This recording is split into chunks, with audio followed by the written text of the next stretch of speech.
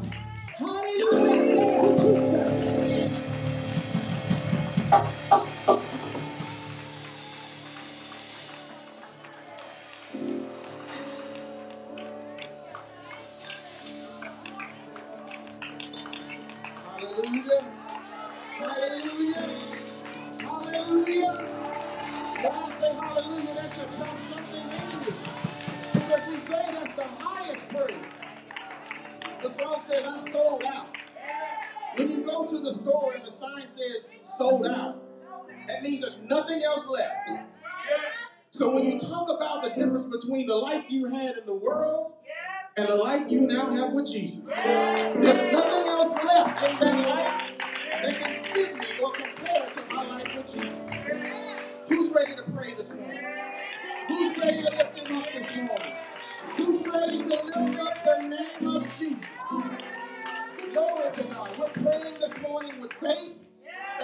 with expectancy. There's a story in the Bible where the Lord was praying or beginning to pray, and he said that if you got if you don't have faith, you gotta get out. Anybody that don't have faith right now in what God can do, it's time to get out. It's time to get out. It's time to get out the doubt. It's time to get out the unbelief. It's time to get out the things that used to hold you down. It's time to get them out. So this morning, we're going before the Lord in prayer. That opportunity that we have to talk to Jesus. I can talk to my mother, I can talk to my father, I can talk to my friend. But there's no friend like the name that we call Jesus. The Bible says he's a friend that's sticking closer than a. This morning, those that want to come to the altar, we're inviting you right now. Come to the altar. The word says, leave it at the altar. Leave it there. Because God will answer prayer. Amen. Father, in the name of Jesus, Lord, we bless you. We thank you, oh God, for all that you do.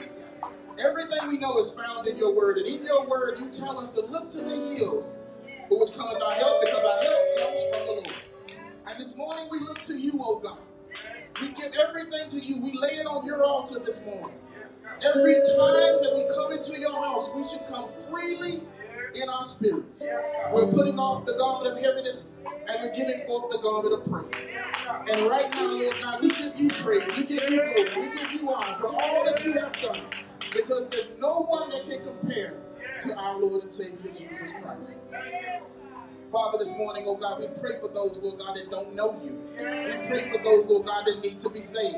Lord God, we pray, Lord God, that the word as it comes forth, that it pricks the hearts of men, that it changes them, Lord God, that it wants them to seek after the God that can only be the one that fulfill all of their voids in their life.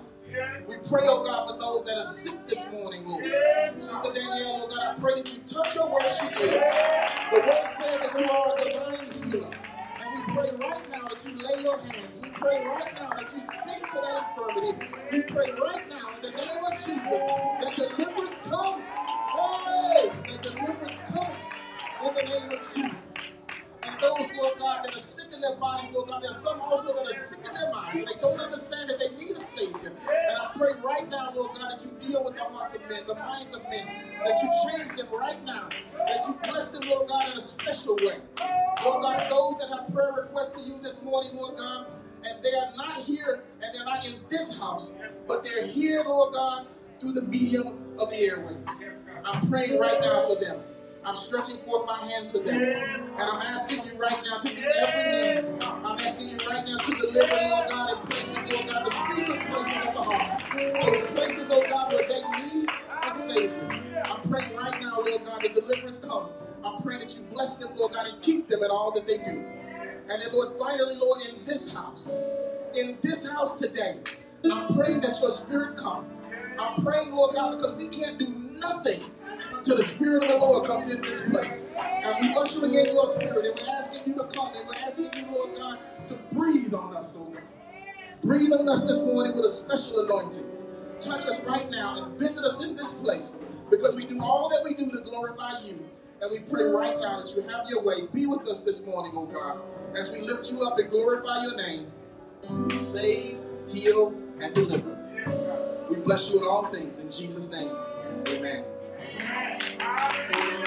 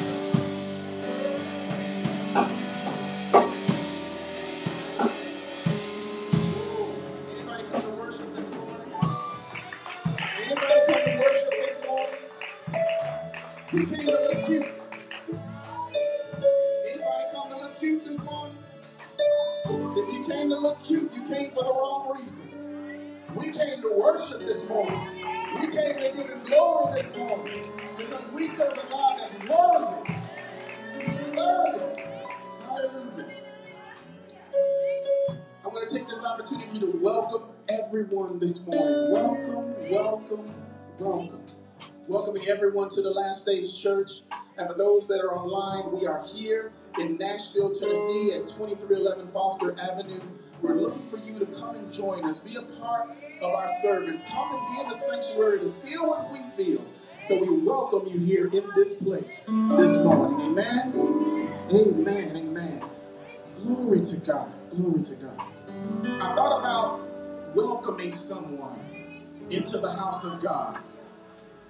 And I looked up the word welcome.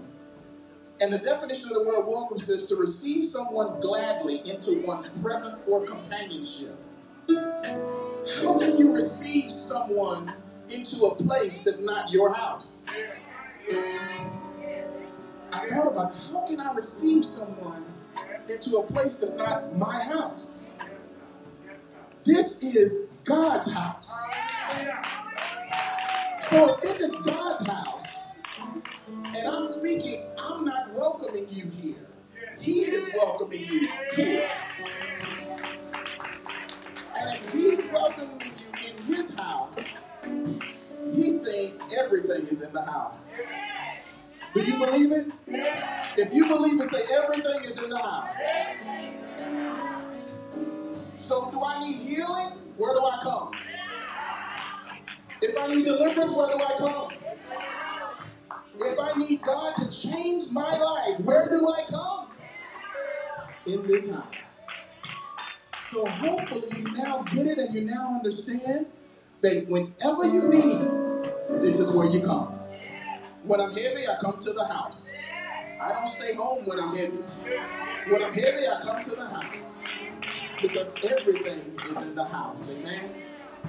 Amen. Amen. It's offering time. Oh, I got two or three claps. It's offering time because I can see through the mask whether you're smiling or not. I can see through the mask if you're excited or not. It's offering time. Amen. Time to give unto the Lord. I'm going to do something a little bit different this morning as it relates to our offering. I'm going to talk a little bit about Scripture. Typically, when we give the offering, we talk about Malachi. Malachi talks about robbing God, right? We get that. Yes? And then we switch over, we go to Luke, and Luke talks about it being pressed down and shaken together and running over, and men are going to give that into your bosom, right? In my study, I found something a little bit different. I went to First Chronicles. First Chronicles 29 and 3. Yeah, yeah, yeah, David is talking. yeah. And David is saying, Moreover, because I have set my affection on the house of God. I have given to the house of my God Over and above. all that I have prepared for the holy house. My own special treasure of gold and silver. I can't go into it and teach it, but that's a part of scripture where David was so zealous to want to build the house of God, but the Lord wouldn't let him build it because his hands were dirty because of blood, because he was a warrior. But he still gave to the house of God and ended up being to building the house. And I read this even more, and it says, Because I have set my affection on the house of God. His affection was not toward things, his affection was toward the house of God. Because the word does say, Seek ye the kingdom of God, and all his righteous, and all these things shall be added to you, right? I think David, even back then, understood that principle. Because from my perspective, if I take care of God's house, He's going to take care of my house. I don't have to worry about the electric bill, the light bill, the Verizon ain't going to call me if I take care of God's house. And so that's what I admonish you to do this morning. Take care of the house of God. That's what we're here to do during this time of offering. Amen? We say you can't beat God's giving. And I truly believe that. I truly believe that you can't beat God's giving. Giving is not a tradition. Giving is not just something that you just do out of habit, but you give from the heart. And so for me and my house, we are a witness to know that when you take care of God's house, God will take care of your house. Amen. Amen. Let us pray. Father, in Jesus' name, Lord, we bless you. We thank you, oh God, for your people that are represented here. They're giving gifts to you in your house. Lord God, we have tilled the ground, and now we're getting ready to sow a seed. But you're the only God that can make it rain. And it doesn't grow until the rain comes. And we pray right now, Lord God, as we give our seeds to be a blessing to the house of God, that you bring up fruit, Lord God, because we do this for the propagation of the kingdom of God, for the winning of souls. And we ask you right now, Lord God, to stretch it, multiply it beyond whatever we would think, because you see the needs down the road. We ask you to have your way. Be the God that we know that you're able to be touched and bless every seed that is given, no matter small or great, and magnify and do what you do and bless your people. We love you, we praise you, and we adore you. In Jesus' name, amen.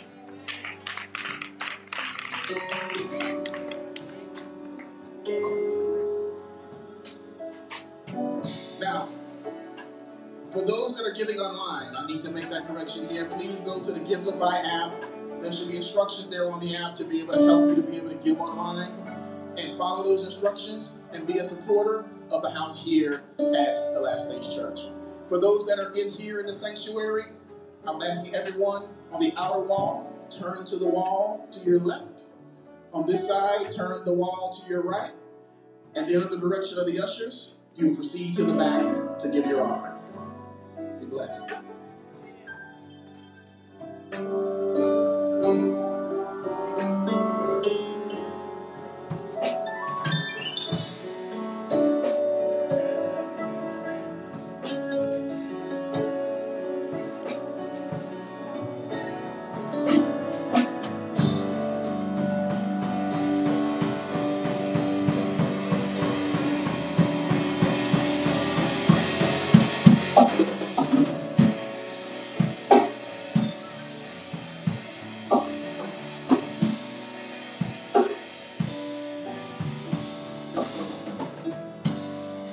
Amen. Let's give a little praise in Jesus' name. Come on, let's give God a praise. I didn't say nothing about me. I didn't say nothing about you.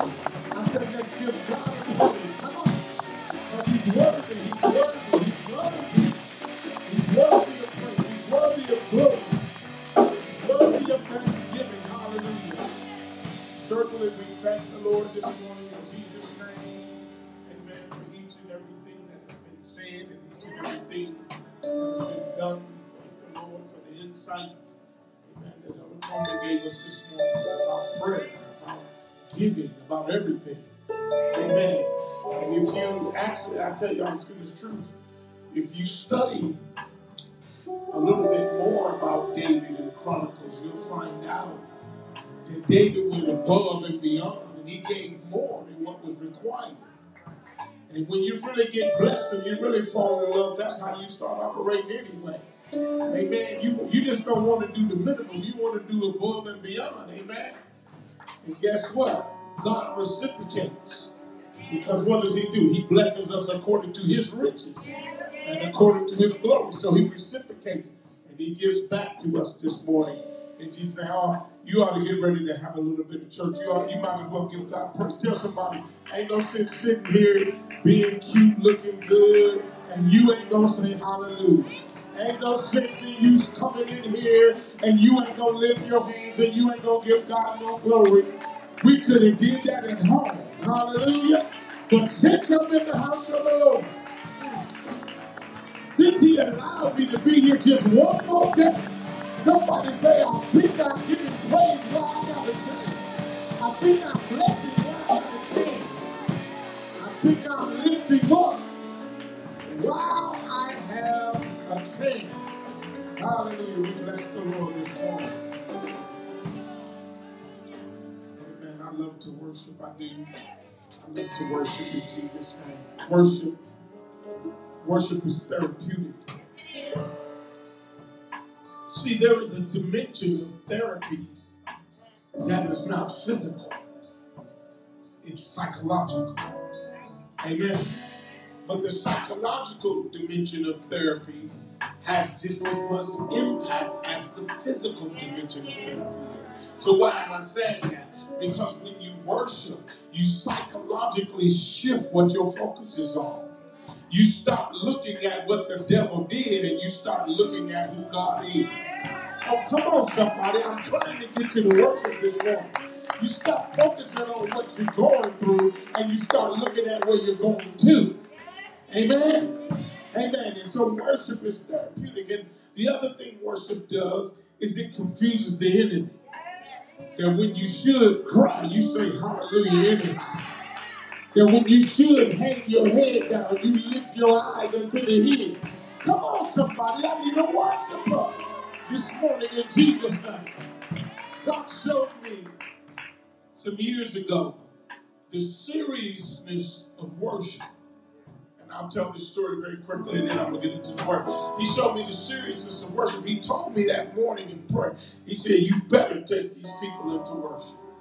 So I, I came to church and, you know, I was all stirred and fired up and running on 10. And he kept speaking to me, You better take these people into worship.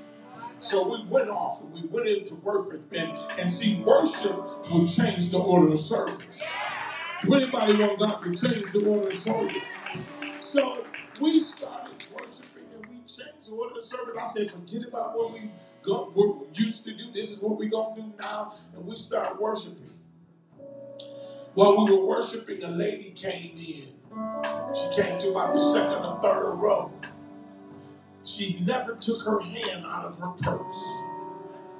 And when she came running in, big burly fella came in with sunglasses on and a, and a, and a bucket fishing hat. And he never took his hat off, he never took his glasses off, I mean, and he never sat down. And God spoke to me again, you better take these people into worship. I went up. We started worshiping. I said, come to the altar. Throw your hands up. People were speaking in tongues, and we was praying for folks, and we was laying hands on folks. And the lady who came in, she ran to the altar and said, Reverend, this good church don't deserve this. I didn't know what she was talking about.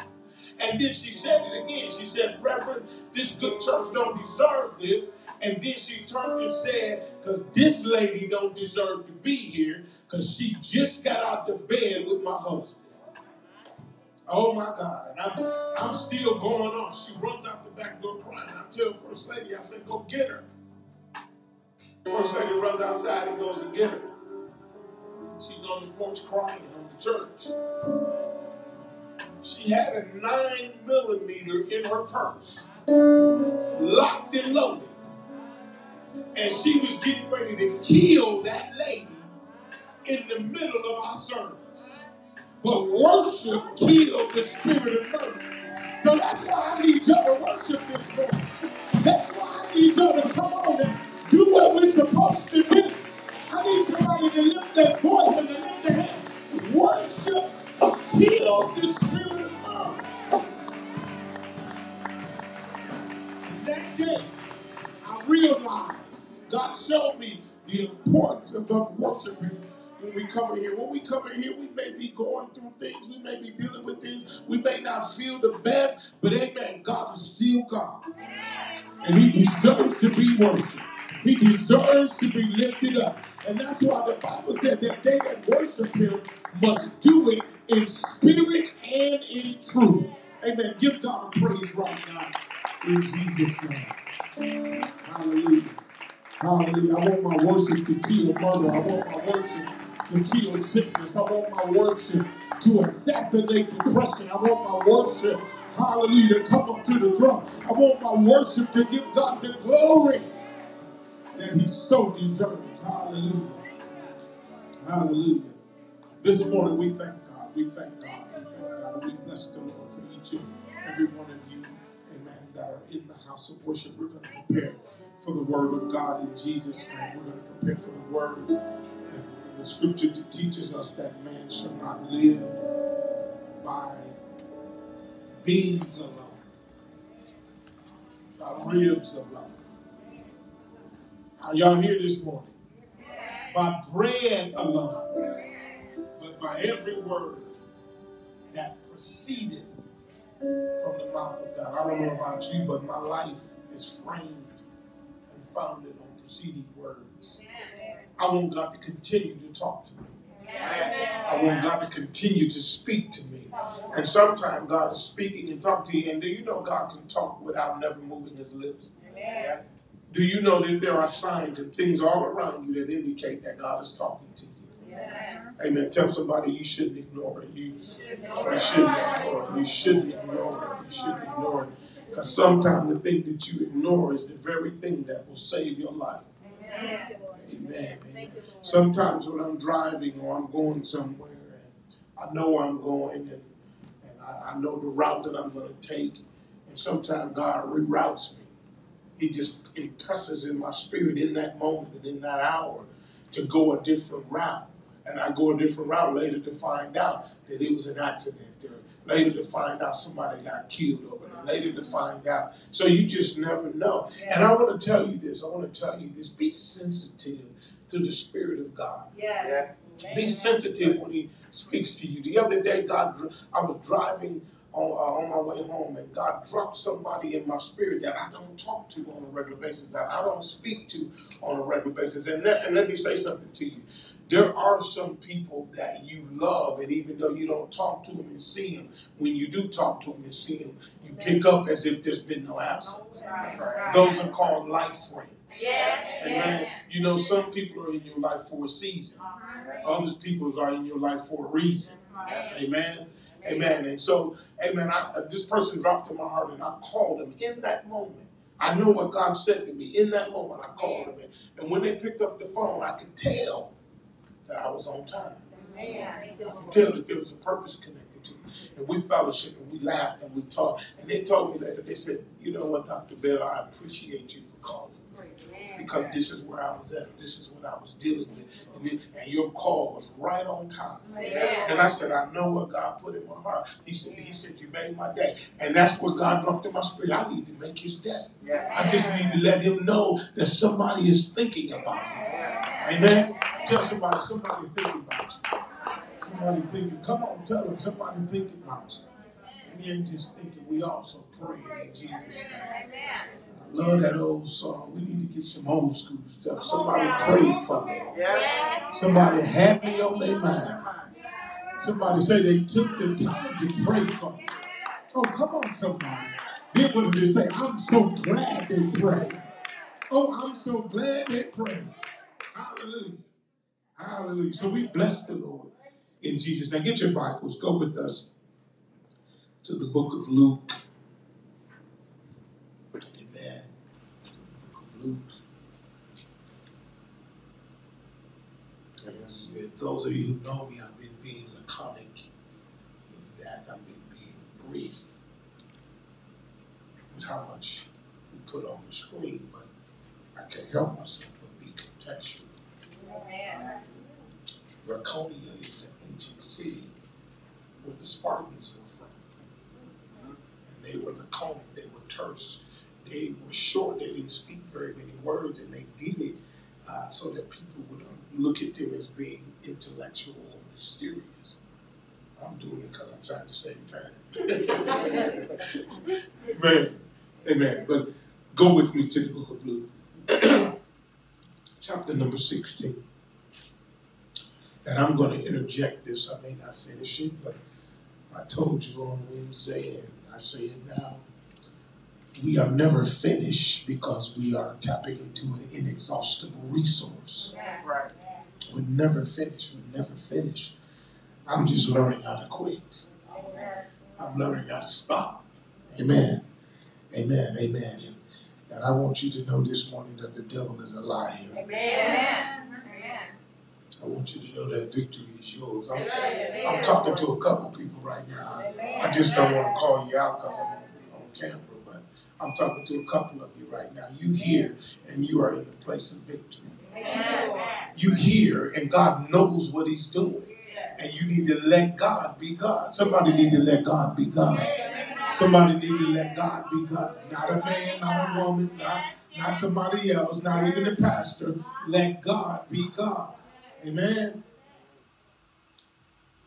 Luke chapter 16. Thank you, Lord. And as, as I said, I'm going to be brief. Verse 11. And it starts out with a contingency. Oh, we're going to have a little church. The elder just walked in. The elder just walked in. The, Lord blessed in Jesus' name. I just thought about him. God is so good. I just thought about it. I just thought about it. Amen. 16 and 11, Luke. If contingent, contingency. Life is full of contingencies. Life is full of ifs. Y'all ain't saying that to me. He says, If therefore ye have not been faithful Yes. in the unrighteous mammon. Mammon is not a slice of bologna. I'll tell you what it is in a minute. Amen. It says, Who will commit to your trust the true riches. Can you read it for me, please, in Jesus' name? Luke 16 and 11. Everybody in concert, go.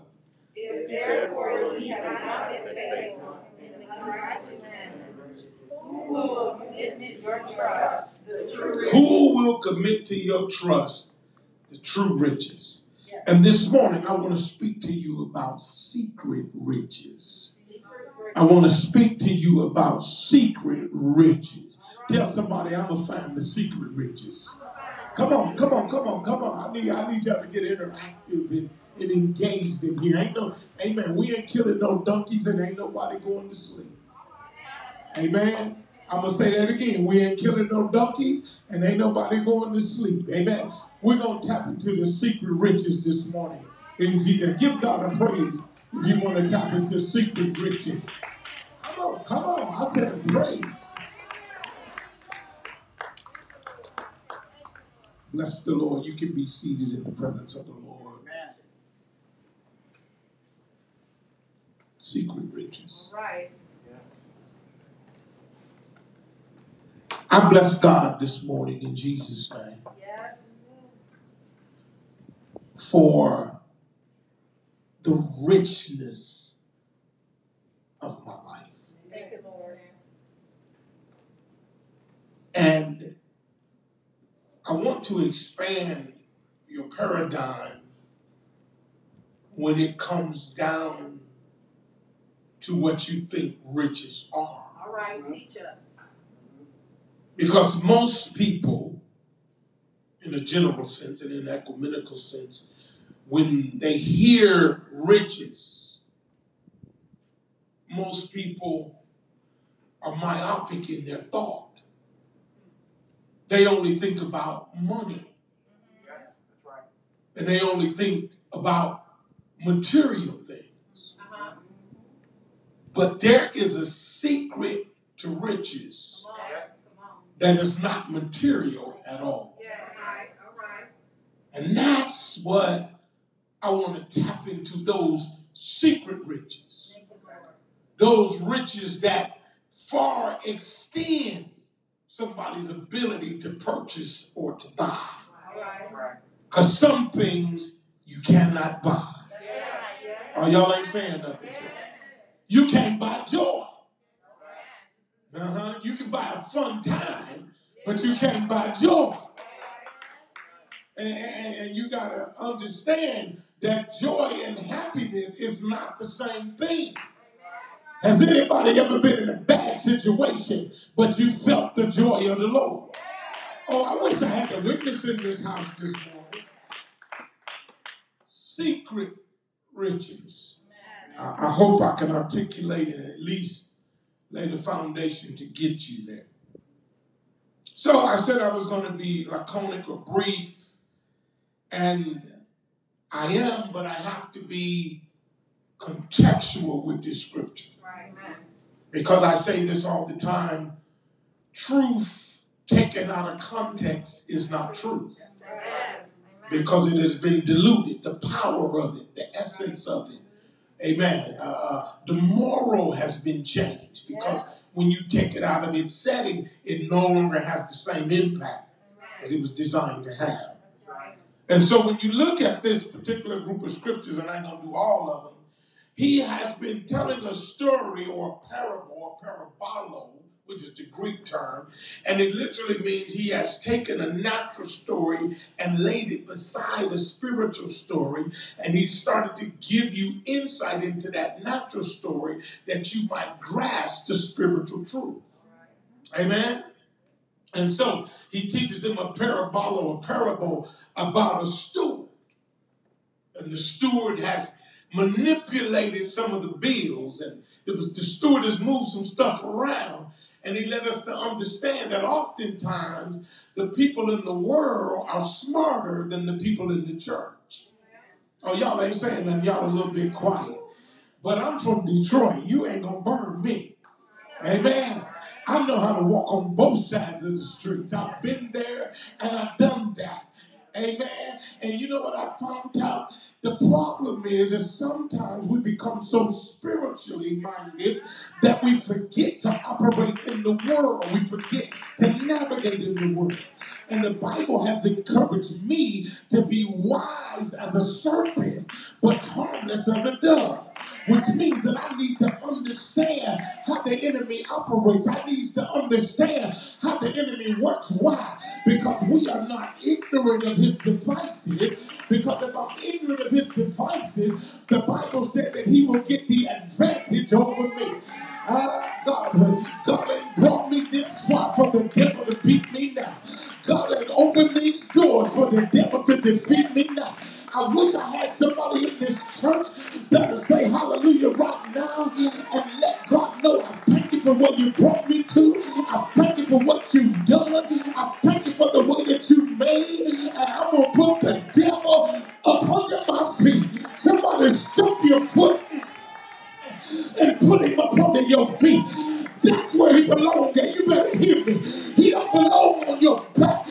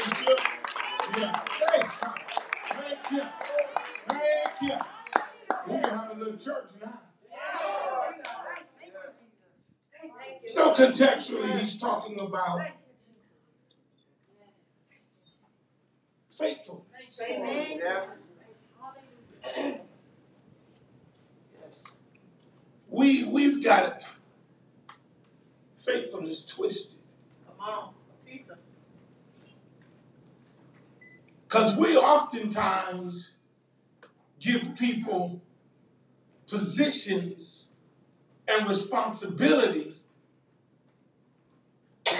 so it guarantees their presence.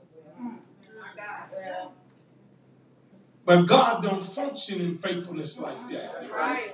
You gotta show up when you ain't got no position. You gotta show up when you ain't got no responsibility. Now here again, that's only validating your faithfulness. Hallelujah. But God commits faithful things to faithful people. That's according to the word of God. So he begins to talk to them about being faithful. And he brings out something that challenged me some years ago, early on in my walk with God and early on in my ministry. He says this, I, I ain't got time to go through all of it, but uh, we're talking about secret riches. Because there's some stuff you can't buy, and there's some stuff you can't get on credit. Y'all like saying that to? Mm, I want you to get this. So let me let me drop down. And he says in verse 10, he that is what? Faithful in that which is least.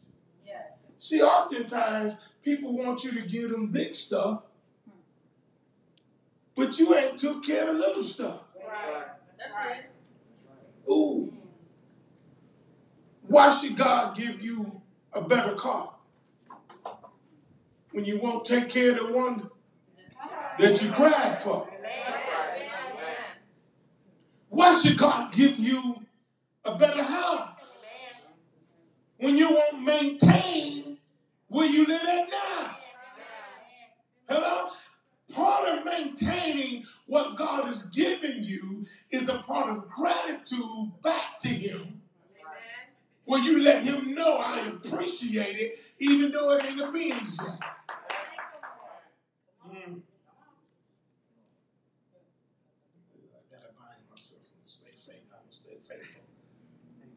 So he says, He that is faithful in that which is least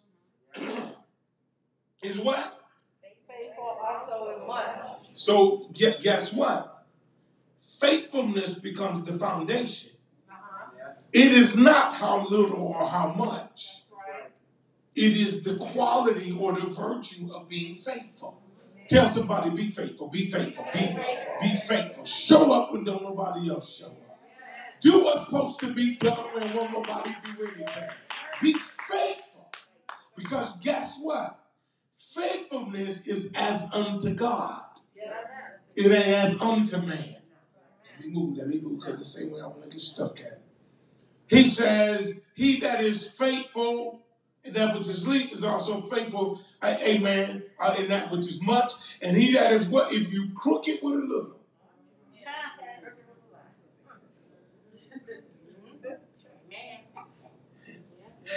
you stole all the Snickers.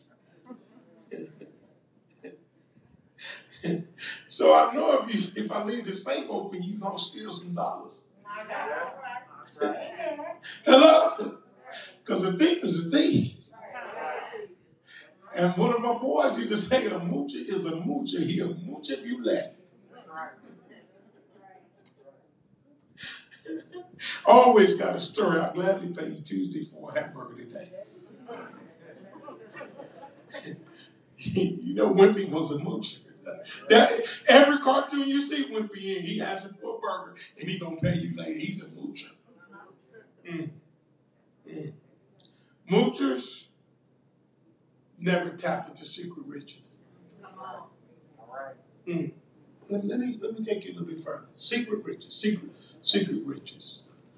So he says, if therefore you have not been faithful in the what? Unrighteous what? That didn't say salami. It said mammon. And a lot of us just read and don't take the time. See, part of the riches is understanding, Amen. right? In all you're getting, get an understanding. Hello? I ain't trying to make you preach, I'm trying to make you rich. I mean, I ain't trying to make you shout, I'm trying to make you rich. Hello? Because I felt something the other day. The Lord blessed me. The Lord blessed me. I got up. I, went, I I woke up late. That's the, that's the, boy, I got ready and out of the house the fastest ever. I didn't, I was shouting myself. I ain't pants a shirt. Amen. Took a shower, brushed my teeth. I mean, got ready, was out the house. I was like, whoa. He need to get up like this all the time. Anyway, I didn't have the time that I normally have uh, to do what I do in the morning because I kind of take my time, and get a scripture, get a get a get a, uh, a word for the day. That's where I got that word this morning from. Amen. It was a couple of days ago. I said, "Ooh, I like this word. Let me hold on to this." Amen. So you know, I tried to do all that. I couldn't do it, so I had to do it in the car. So I was going down the road. You know, scripture was talking to me. I was looking at my dictionary. I was getting my philosophical quotes, and then I started praying. And I said, God bless me today. Help me to bless somebody else. Help me to do what I need to do. So and so and so, blah, blah, blah. Help me to be a blessing, you know, enrich my life, da, da, da, da. Got to work. Yeah, started doing. Gentleman came in. I took care of him, did what we needed to do. When he got ready to leave, he said, Man, you've been such a blessing to you know, that's what I do. Ain't no big thing. I was just being me. Right? Then he pulled a roll of 20s out. Now, I done already made money because we did business. Right? I'm content with that. Caleb, he slapped some 20s up there on my desk. He said, put them in your pocket, man. I said, you ain't got to do that. He said, yes, I do. And when he said that, I heard God say, yes, he do. I said, well, hallelujah.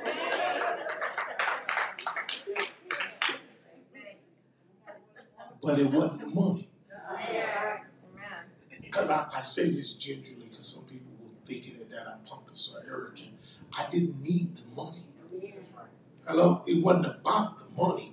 What I needed was the mental and the spiritual transaction. Because it was a richness that God was sharing with me that I still have and that I'm releasing upon you that money cannot buy. Because I, I told him, I, I told him, I said, you don't realize what you just did. I said, you just validated the favor that's on my life. I said, you just validated that God is still watching me the way that I function. See, there are some riches that you cannot put a price on. So he says this. Let me get back to it. I know I jumped a bit. He says unrighteous in uh, in unrighteous manner, or faithful in un- unrighteous manner. Mammon is riches. Mammon is money. Mammon is treasure. Mammon is prosperity. But I want you to understand something. It comes from the Greek word mammonos, which means money, treasure, or it is personified riches that oppose God. Mm, that's good. This is where it gets deep at. Personified riches, or in the embodiment of riches that oppose God, which means that it is riches and prosperity that God is not the center of. It is riches and prosperity that people don't care what they do to get it, they just want it. Ah, my God. And you got to understand that people that get riches that way are poor in their spirit. People that get riches that way, they don't understand what riches really are. They don't. Have you ever seen somebody that got money that had a poor mentality? Have you ever seen somebody that was well to do and they might as well live down in the projects because they had a broken spirit, a broken mindset, and a broken outlook on life? Ah, my God. And so he says this. mm, He said, if therefore you have not been faithful in that, he says, who will commit to you the true riches? So now you got to understand that God has this, amen, qualify what true riches is. It is not natural stuff. It is not just money and a house and a BMW and, and suburban living and Gucci shoes. It ain't just that. And I ain't saying that it ain't that because I got some myself and I want some more. But that ain't what my objective is. Can I tell you this? That kind of stuff is just a byproduct of my rich life. That kind of stuff is because I'm connected to the one who is the blesser and not the blessing.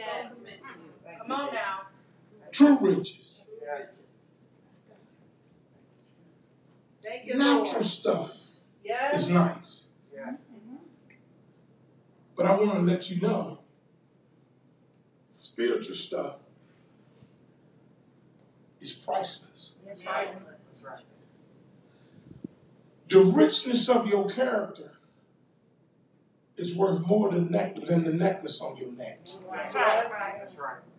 Hello? The depth of your person, the quintessential essence of who you are, Yes. is more valuable than the three carat diamond that you have on your finger. Yes. Hello? I want to talk to you about secret riches, real riches. Because a lot of people are superficial and we got on nice things and we got nice stuff, but we poor in our spirit, we poor in our heart. We don't understand the principles of God. True riches. He says something else. Look at this, verse 12. He says, And if ye have not been faithful in that what? This is other man's. Mm. Shall, give you that which is your own? Just taught me something. Right. This taught me something. Before you can come into your kingdom, That's right. Come on. sometimes you got to help other people get to theirs. Before God will release on you, He uses other people's stuff to validate if you're worthy. Y'all ain't saying nothing to me. Hello? Sometimes God allows you to be a steward over somebody else's stuff uh, so that once you, amen, figure out what real stewardship is, then God starts to release on you what's going to be yours. Y'all ain't saying nothing to me. See, a lot of people want to just jump and get there, but sometimes you got to learn how to serve other people. You got to learn how to be humble under them. You got to learn how to follow orders. You got to learn how, amen, to be subject. Some people ain't never gonna be rich because can't nobody tell you nothing. My God. They got an issue. You don't talk to me like that. Really? I remember a story of a wealthy preacher, apostolic Pentecostal, full of the Holy Ghost. He got married to a prominent lady. She was getting ready to go. And she had a limo driver. This is how prominent she was. But she was poor in her spirit. So he kissed her. She got in the car. And he said, Baby, you got money? Yeah, I got money. He said, How much you got? Don't ask me how much money I got. She went off on him. You know? She blew it. Because you know why he was asking? He didn't want to know just how much she had for the sake of knowing. Right. He wanted to know because if there was anything lacking, he was going to give it to her. She was getting ready to go on a shopping trip. And when she went off on him and said all that, he said, okay, you got enough. But he was getting ready. See, it's the difference in being able to go in Nordstrom's and get one pair. But see, some some people ain't ready to go in and say, I want every color. You ever did that? The same shoe in every color? Amen. Y'all ain't saying nothing to me. I had a homeboy. He, he he is the reason that I am in love with sartorial things now. He's deceased. We called him Bro Howie. When I was a young lad, we would go shopping with him, and I would carry his bags. And after I carry his bags, he'd buy me some shoes or a shirt, or he'd buy me something. He'd go in the store, and he was he was somewhat not crippled, but he was somewhat uh, not uh, totally uh, able. And he'd shut the store down. I'm talking about they would close the front door. Four salesmen would be waiting on him. He would sit down. Those ballots, I want give them to me in Burgundy, give them to me in Carmen. You think I should get the gray ones? He just called me Mr. Planners. Mr. Planners, you think I should get the gray ones? I said, yeah, nice. Give me the gray ones and the burgundies. He'd get them in every color. You follow what I'm saying? And so the lady didn't understand that her husband was asking her a question not for what she didn't have, for what he was going to release on. Y'all got to catch that. Y'all got to catch that. So, if you have, verse 12, if you have not been faithful in that which is another man, who shall give you what's your own? Somebody say, I'm ready for my own. I'm ready for my own. Now, now, now, let me help you on getting to some secret riches. The secret to getting into riches in God, and here again, don't be myopic, don't have a narrow train of thought. Because I'm not just talking about money. That's the wrong with the church now. All we preach is a blessing and a breakthrough and this and that. But can I tell you this? If you develop your character, if you develop who you are, riches and breakthrough gonna come to you. Hello? If you develop your character and you get rid of poverty thinking and poverty attitudes, and y'all ain't saying nothing to me. If you get rid of those kind of things, God will enrich you to the degree that He don't mind releasing on you naturally. Because if you got a poor mentality, you ain't gonna be able to keep rich stuff anyway. Mm. Secret riches. Let me show you something. It's a paradox in the kingdom. What do you mean paradox, Pastor? It's opposite. It, it- it's really weird. It's really funny. And we found this out by looking at Jesus, humbling himself, Yes. Mm. being in the form of God, thinking it not robbery to be equal with God, but making himself of no reputation. Kanao, emptying himself, neutralizing his external glory. And see, that's the whole God.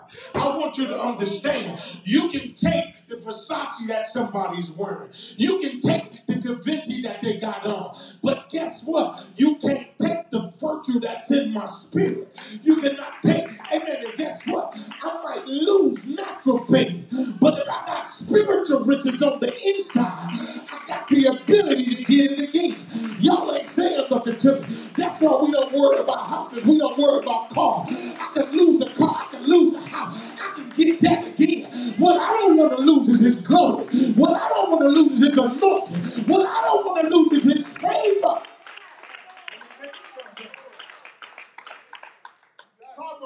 Proverbs, real quick. Chapter 13. Let me just share this with you, and I got to get on this train. And, I said I was going to introduce it.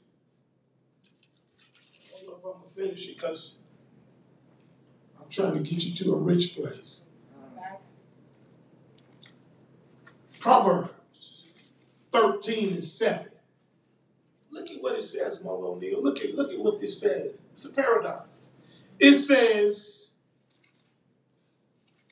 There is that maketh himself rich. What? He rich, but he ain't got nothing. I mean, think about that for a minute. How many people are out here right now have things but don't have nothing? Think about that. Got a custom made mattress, $20,000, but can't sleep. Literally walking around the bed. Ain't got nothing. Hello?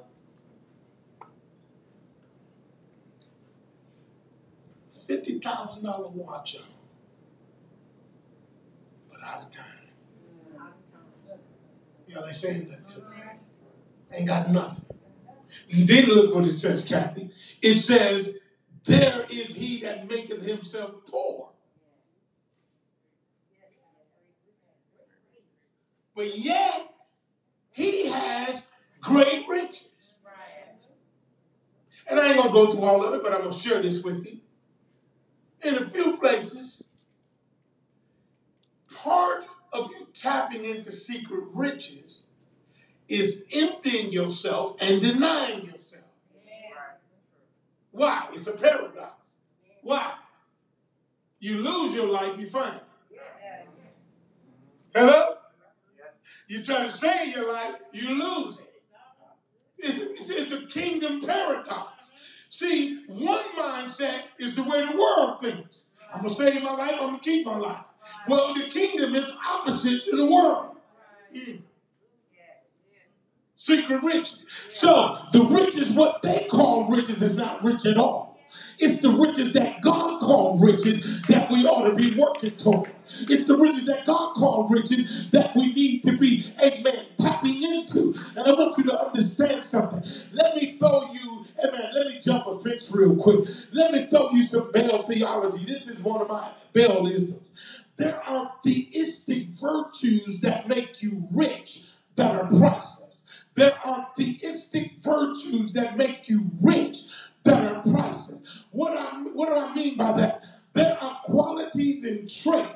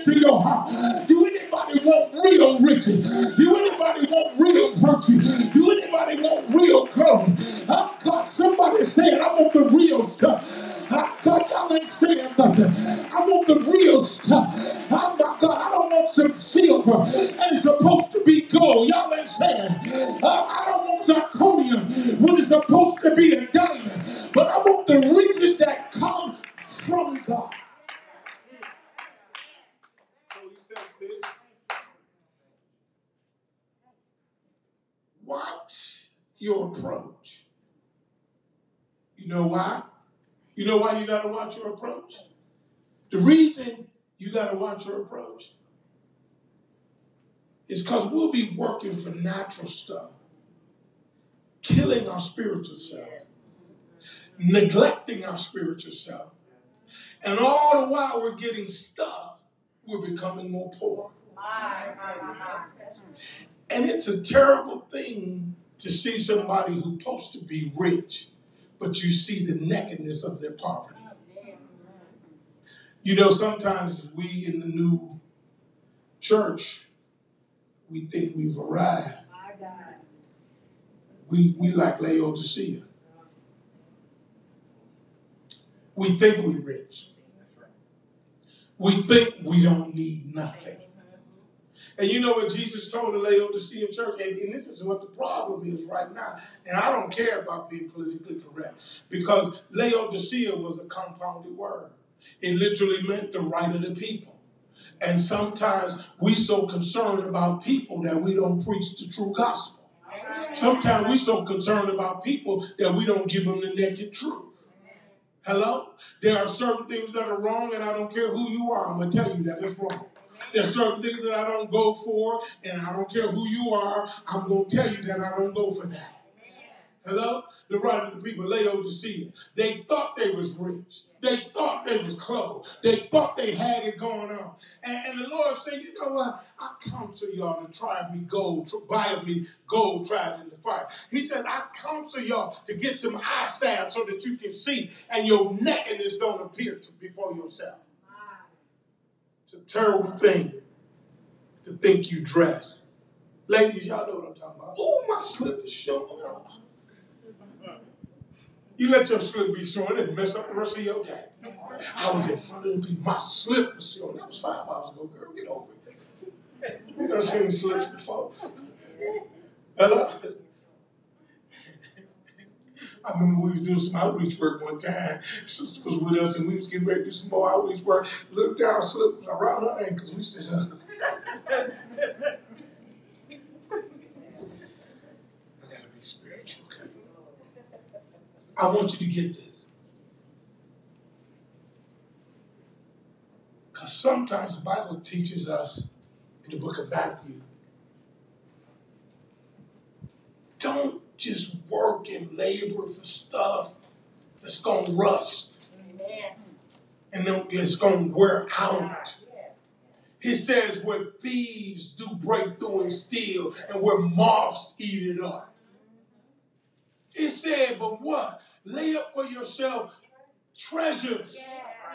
Thesaurus, treasures, the Greek word for treasures. Thesaurus, the Greek word for treasure. Lay up for yourself treasures where? In Ouranos, in heaven. I'm going to stop after I say this. It says this. And guess what? You cannot watch a person too long and don't find out where their passion is in. Because the Bible says that where your treasure is, is where your heart will be also. Hello? All you gotta do is listen to people. You can tell where they are. You can tell. All you gotta do is just sit back and listen. They're gonna tell you what they like and they're gonna tell you what they don't like. They're gonna let you know what's important to them. Hello? But I want us to tap into spiritual riches, secret riches. I, I ain't gonna mess up because I ain't out. But I, but I ain't gonna I ain't gonna mess it up. I ain't in a rush. I'm gonna quit right now. But I want you to understand something. There is a depth of character that is so rich that when you interact with people, you leave the residue of your richness on them. Hello? It's like you shake their hand, and when they walk away, your DNA is on them. Did you catch what I just said? And DNA is divine nature anointing. Right? Ah, God, God bless you. I hope I hope you grab that. God wants to enrich his people. Why? Because we're supposed to be the salt of the earth. We're supposed to leave influence. We are supposed to make people thirsty. Because salt produces thirst. That's what it does. Hello? So you you need to make people thirsty that when they get through talking to you, they, they say, I want to drink from God's well. We already know, oh, taste and see that the Lord is good. And blessed is the man that trusted him. I, I hope you get this today. I hope you will allow this to, to, to, as you ruminate on it, as you chew on it, as you look at it, that it will begin to enrich your character. Because guess what? The, the, the anthropic man, which is Jesus, being God incarnate, mm, didn't have a place to lay his head, didn't have anything. Foxes have holes and birds have nests. But the Son of Man have nowhere to lay his head. But guess what? He has some riches. And because of the riches that he had, you and I can be rich right now. Because of the riches that he had, he wants to release and share those with us. And guess what? Because we are connected to him, we heirs and joint heirs, you're supposed to be rich. Amen. So God bless you.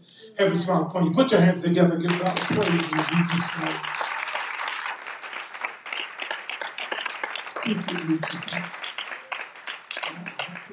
I'll pick back up because I got some more stuff to share with you. What he said. And I, want you to recognize this. Being a pastor is not always just making you feel good. It's challenging. It, it's it's trying to nurture you to develop a desire to go higher and deeper in God. Just as in natural, you want your children to learn. You want your children to become intelligent and to become self sufficient. Guess what? Because as your children learn, they're getting psychologically richer. As they learn, they're starting to articulate thought. Their vocabulary is becoming richer. In Jesus' name. That's what I'm trying to do for you. And guess what? When you become rich, you ain't always got to call somebody. Amen, amen. So God bless you, Heavenly Father. Those of you that are watching, those of you that are tuned in, we pray that you, amen, will become spiritually rich, that you tap into the secret riches in Jesus' name. And as always, myself, the Last Age Church family, and First Lady Bell, we miss you, we love you, and we are praying for you in Jesus' name. Put your hands together to give God praise. All right. Bless the Lord. Amen. We thank God in this house in Jesus' name.